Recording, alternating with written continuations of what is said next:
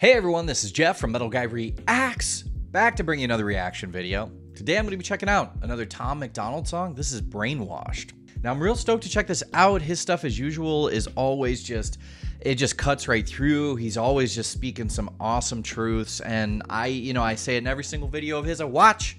I think he's trying to continue conversation, get people talking, and honestly call out hypocrisies wherever and whenever he sees them. So that's what I assume this one's going to be a little bit about. I assume brainwash might have media connotations or associations. So let's jump into this. This is Tom MacDonald doing Brainwashed.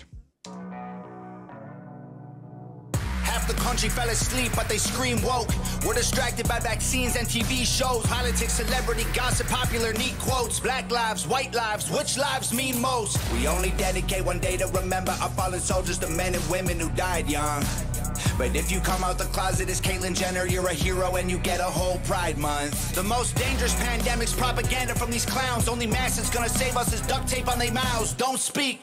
We don't need to defund police, need to defund the media who lies through their teeth like Big Pharma doesn't cure you, dog, cause every patient that gets cured is a customer lost. And big oil runs the world. The only wars that get fought are with the countries who have natural resources they want. Heard him claiming if a white man braids his head.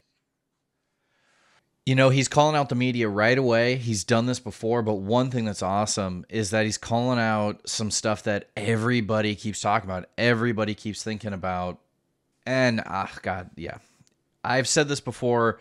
He just he packs in so many lines so quickly, but everything he just said was about media and about misinformation. At least to me, that's the the big picture of what he's talking about are with the countries who have natural resources they want. Heard him claiming if a white man braids his hair and likes rap, he's appropriating culture. But if a white man acts too white, he's white trash, he's a racist, he's a bigot, he's a monster. Let's just have the conversation. Not every liberal is dumb, not all Republicans are racist. The government wants every not every liberal is dumb and not every Republican's racist. He's calling out the polarization. He's done this before too, but he's doing it so smoothly in rap. He's calling out that yeah, and then he also said too, if I braid my hair and listen to rap, then I'm appropriating. But if I, you know, just just do what a white person's supposed to do, I don't even know what that means, um, or what the lyric was. He said, uh, but like then he's just white trash racist, so you can't hey, you lose either way. Not every liberal is dumb, not all Republicans are racist. The government wants everybody fighting with their neighbors because they know that if we get along, we'll probably go against them. They can't stop us, cause we're ready to fight, trying to brainwash us. But we won't let freedom die. The whole world's brainwashed. Everybody pick a team, start a riot in the streets. The whole world's brainwashed. It's us against them, it ain't you against me. How did monkeys become people? I, you know, he packs in so many amazing lines. I, I'm gonna have to save him for the end because he's blowing my mind, and I'm, I'll take 25 minutes to react to every line he just said. Oh my god. It's How did monkeys become people and people turned into sheep? They put fluoride in the water that's keeping us all asleep. Claim they want what's best for us, I find it hard to believe. Cause they've been selling us cigarettes since we was 18. Fake news, fake woke, distract and divide. You're either right or you're left, or you're black or you're white. Big tech don't need a microchip to hack in your life. Cause the phone inside your pocket is a tracking device. And I don't know what I'm more sick of. Rappers or Joe Biden looking like he ate 100 Xanax for dinner. Cause censoring the president and kicking him off Twitter is a bigger threat to freedom than foreign ballistic missiles. You don't trust the police or the government, but you want people giving up their right to own a firearm. Why would you be comfortable if police and the government the only people on the planet with the right to buy a gun? White privilege getting amplified. I have for many years been a big advocate of the Second Amendment, and honestly, wholeheartedly for people that are minorities, LGBT, things like that. Any group that has been oppressed historically should always have the right to defend themselves. Oh man, and so he said, "Why would you give up all your guns so that only the police and government have them?" God, and again, he's saying stuff that I don't think is all that controversial. He's just pointing out these hypocrisies. He's pointing out the polarization. Government, the only people on the planet with the right to buy a gun. White privilege getting amplified to reinforce division. It convinces white people that they're favored by their skin, and black people getting angry because they're told they're treated different. So the conflict is between us and never with the system. Let's just have the conversation. Not every liberal is dumb, not all Republicans are racist. The government wants everybody fighting with their neighbors because they know that if we get along, we'll probably go against them.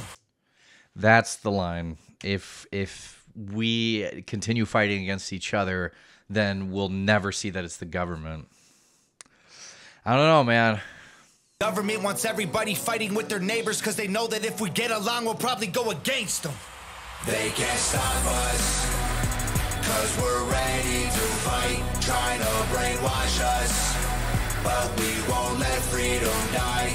The whole world's brainwashed. Everybody pick a team, start a riot in the streets. The whole world's brainwashed. It's us against them, it ain't you against me. Step one, train the people only to consume. Step two, infiltrate adults with the news. Step three, indoctrinate the children through the schools and the music and the apps on the phones that they use. Step four, separate the right from the left. Step five, separate the white from the black. Step six, separate the rich from the poor. Use religion and equality to separate them more. Step seven, fabricate a problem, made a lie. Step eight, put it on the news every night. Step nine, when people start to fight and divide, take control. This is called situational design. They can't stop us, cause we're ready to fight, trying to brainwash us. But we won't let freedom die. The whole world's brainwashed. Everybody pick a team, start a riot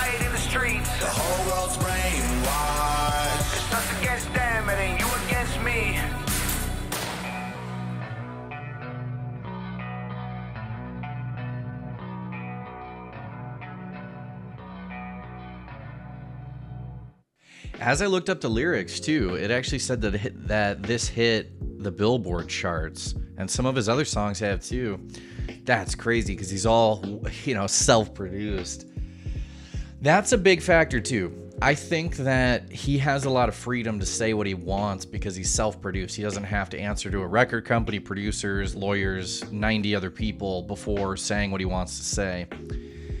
This again, as so many of his songs do, are calling out hypocrisy, calling out division. And he went through a list. He literally went through a list with this different steps, and that just gave me goosebumps all over my body. I mean, holy shnikes, that was good. One thing that I, you know, at least a little bit of insight I have into all of this is that over the years I've worked in television and film in different capacities, and one big thing I noticed is that I had a lot of friends that have worked in news and, and you know, in media, and they have a saying in the media world which is if it bleeds, it leads. And what that means is if they have a depressing story, they're always going to push it ahead. If there's a catastrophe, they always push it ahead. And there's a lot of psychological data to back that up because humans are something like 10 times more likely to avoid pain than to seek pleasure. So it's a survival instinct. We do that so that we can actually survive as humans. But the news and media uh, totally takes advantage of that because they understand that. So if they want to sell ads, in between their news for a lot of money and they need a lot of viewers to do that, they're going to sell horrible, horrible stuff happening. Even when lots of good stuff happens, they, are not going to sell you that because it's just, it doesn't sell as well. You know, figuring out all the positive stuff and the wonderful stuff that happens in the world just doesn't sell ad time and that's a big part of what he's been calling out here separating people from you know uh, white to black rich to poor. Um, I, I, the other thing i think he called out too is just as he's staring at those televisions he started turning some of them off. We are you know just hit with news faster than we've ever been hit in our lives. It's not even down to the to the hour. It's not even down to the like minute. It's down to the second you can get updated on news humans are not supposed to be able to handle that. And I have relatives that I think are just, you know, they have gone way too far over the deep end with news. They are hyper informed, where there's a difference between being well informed on big issues that matter and voting and doing things to actually change that, and then just being hyper informed about every single thing that happens. And an example I can use of that again for the news is that I remember hearing that when back in the 90s there was this little girl that was tragically killed, uh, and and people that are my age will probably remember was JonBenét Ramsey, and she was murdered, and it was this horrific thing. Um, and then after that, so many parents became super paranoid about their children, about thinking they were going to get kidnapped, they were going to get murdered. And in the years after that, the numbers stayed the same for the same number of children that went missing and were killed. They stayed the same. And actually, I think what I remember hearing was that they kind of went down. But the news media sold so much ad time convincing parents that they needed to do all this other stuff when really at the end of the day the odds were still about the same that a tragedy would happen to you like that but because the media sold it and everybody bought it, it, it, it changed everybody's perception. So he's talking about the brainwashing that's going on, and I think it's it happens on both sides. It happens to, happens to Republicans, it happens to liberals, it's happening to everybody. We need to do better sifting through all this information and deciding what's important and what's not, and how we can attack that because it's just hyper information God, this is a great piece. He he knocked out of the park again. I actually don't think a lot of what he says is all that controversial. I think he again with every line you read through this, he points out something and then he points out a hypocrisy or he'll point out kind of the opposite to it and show you that like you know, to, to question what you're hearing, question what you're thinking. So, really, really dug this tune from Tom MacDonald. If there's more of his you want me to react to, add it to the comments below. I've got a couple more of his new ones to queue up here. I think he just released like two albums at once, which is absolute insanity because this guy is just becoming so prolific, putting out material. Um, but yeah, if there's something specific you want me to check out, uh, check or see my playlist at the end. I'll put a little card at the end you can click on of this video, uh, so you can see my whole playlist of what I've reacted to of his so far. If there's anything I haven't that I need to jump on, let me know in the comments below. Don't forget to subscribe to my channel. I'm checking out his stuff, other rap, hip hop, K-pop. You know, it's all sorts of stuff I haven't checked out being a heavy metal and hard rock fan mostly. And I will catch all of you in the next reaction video.